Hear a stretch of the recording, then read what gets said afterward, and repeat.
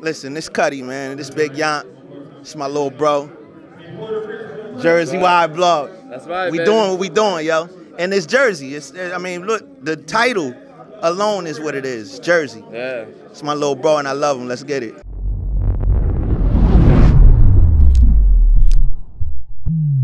It's Jersey Watch. Hey yo, what's going on, y'all? Cutty from Jersey Watch Blog. We are in the building with one of the the OGs, the guys, the reason why he got me in the music industry, the the man that's changing people's lives every day. How much more of a better introduction could I give nah, the OG Yountie, baby? What's up? What's good, man? What's good with you?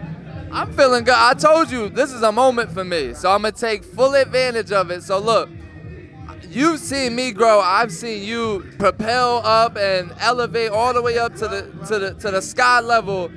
Uh, what's something new that you're working on that the people can get in touch with just before we start talking about tonight? Um, actively, we doing Simba. I actually got a, I came here from the studio, so Okay. we All got right, Simba now. in the studio now till tomorrow.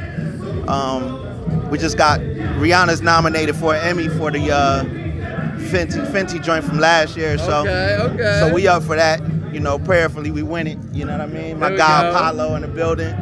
You know, I mean, just working, bro. Like we got this thing with uh, Carvin Haggins, uh, the writer of Musiq Soulchild, and a bunch of other artists and whatnot. Come on, we getting the cameos, baby. This is what happens. You feel me? I love this guy right here, man. But yeah, uh, some with Carvin Haggins, we got a system called the Ring, where we brought together uh, like a bunch of writers, producers that's doing their thing. Salute to that team. You know, we got Ab Lava. He won his first Grammy with Kanye last Okay. this year, and uh, Dilemma on his first Grammy with who's also from Borough with Jazmine Sullivan. So Yeah, yeah. we just got a team of good people working and just building people up, man. Building culture, building, bringing culture back to the game. You know what I mean? That's it. I love that, man. And look, you're you're a witness of it. Again, everything that you were saying is true and is here. So we here tonight. We at the producer battle. You got some of the illest beats people done ever heard in their life, and you get to see the people coming up and the people in the yeah, studio. yeah. What did you like about tonight? Um, well, what I did like is that you know I like to see cats who are not afraid to step on stage and you know display your talent because it's not easy.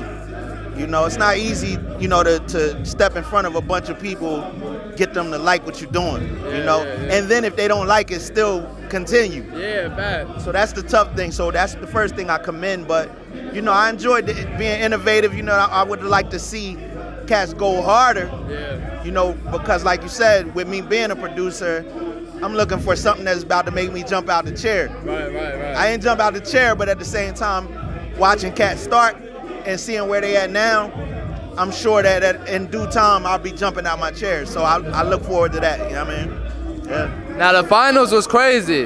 Everybody else who came up up to the finals was crazy also, but the finals was crazy. Trenton took it home. What did you like about that battle? Um, well, I like Seth, he crazy, and you know, and I like Po Poe Brothers versatility. They super crazy. You know, I just enjoyed the camaraderie, man. You know, and no losers. Nobody, nobody lost. Everybody won. It's like seeing cats get busy, man. You know, that's it. I'm in the game for that. Uh, the cameras and everything else, that's extra. I'm, Yeah, I'm in it for that. You know what I mean? Exactly, and you st- and there's still a lot of young up and coming that's here, soaking up the game. Yeah. Even being able to rub shoulders with you and have conversations and share tips and that. That's all growing the, the producer community. So where do you see this going? I mean, the producer beat battles. It seems to be helping out a lot of producers yeah. and connecting people also. Well, in all honesty, it's been going on for a minute. Like it started with Beat Society, which, which was which where you could find like Ninth Wonder, Kanye West, like a lot of crazy cats, Just Blaze. Everybody was at that joint, and that was in Philly. You know, so to see it continuing on is a good thing, and it's it's needed. But like I said, I'm, I'm available for anybody. I'm not inaccessible to anybody. You know what I mean? I'm I'm around to help. So, you know, just keep it going. We're here, baby. So look, last part.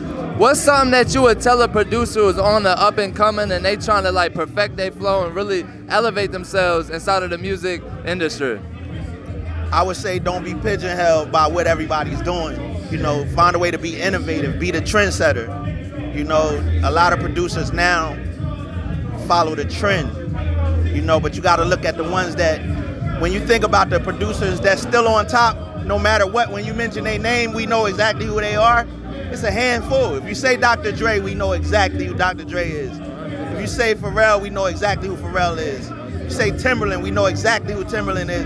And I could go on with a few couple, few others. But what I'm saying is, be one or be that. Be somebody who sets it off. And the best thing I say to producers now, find you an artist. Break the artist. Placements is cool, but when you when you say you made this artist, when Timbaland, we don't know Missy without Timbaland. 100%. 50 Cent, Dr. Dre. Eminem, Dr. Dre. You understand what I'm saying? Nori's popping off. Like we knew Nori from CNN, but as soon as Nori got with Neptunes, Yeah. it was a whole nother thing. 100%. Clipse. Nor- Clipse is what? Neptunes. So when you think of like the producers that's on the top and, and will never come down from there, they're the ones that created a time. You know what I mean? They created something. Even Puff, even Puffy, like he not physically touching the board, the touching the, the equipment, but he's he still producing the record. So even when you think about that, you know what I mean? Like so these cats are will never come from the top we can only join them, but we, they won't come down. You know what I'm saying? And so you want to be one of them. You don't want to be the one that's I'm gonna make a beat like Dre. I'm gonna make a beat like no, beat him, become that. So that's what I tell the producers, man. Woo, man, look, y'all need to be taking the advice, all right? Because I listen to everything this man say. Look, I'm looking pretty? I'm looking pretty clean, right? Come on, I'm looking pretty clean. So look, where can the people follow you so they can get in touch with you? They can book some studio time. They can learn from just the knowledgeable Yountie. listen, follow me, get at me, Big Yount on everything. B I G Y O U N T, Big Yount on everything. It's my name, Yountie. So that's it. So look, man, we out here, man. The producer battles is going crazy. One of the judges. It's been an epic night, and we still got more coming your way. I got Que behind the cam. We out of here, baby.